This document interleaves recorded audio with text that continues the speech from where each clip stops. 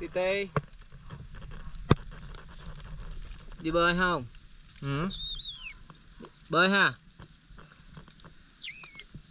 Rồi Ok, Ti Ti đi bơi Đi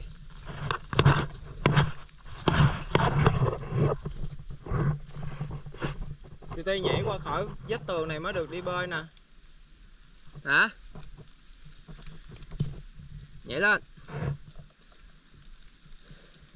Luyện nhảy qua dưới tường, con. Cắn vô tay tôi kéo lên. Nắm vô tay tôi Nhiều thử thách trong cuộc đời của con phải đi qua nếu cùng với Tiêu thực hiện cái sứ mệnh giải cứu thiên nhiên động vật này. Rất là khó luôn á, con. Titi Let's go.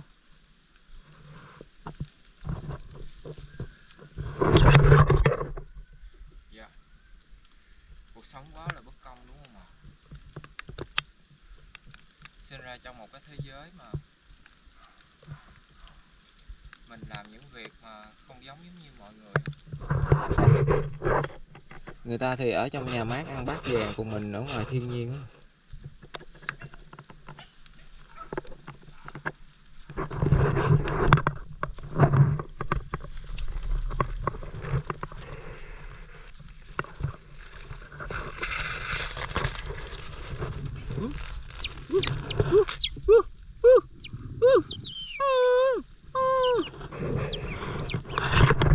đi bơi nha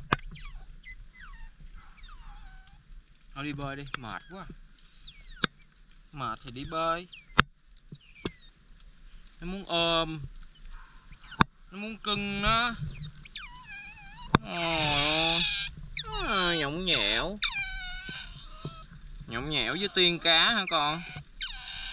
Lấy cá nhõng nhẽo với tiên cá đó mọi người.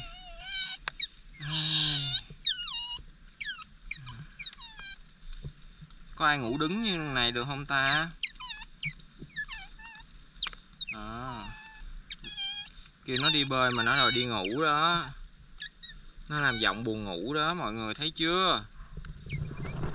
Lên được không leo qua tường thì mình sẽ đi bộ đi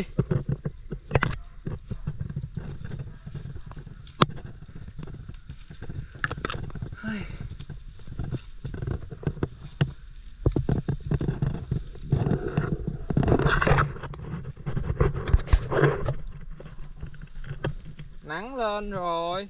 Hết mưa rồi.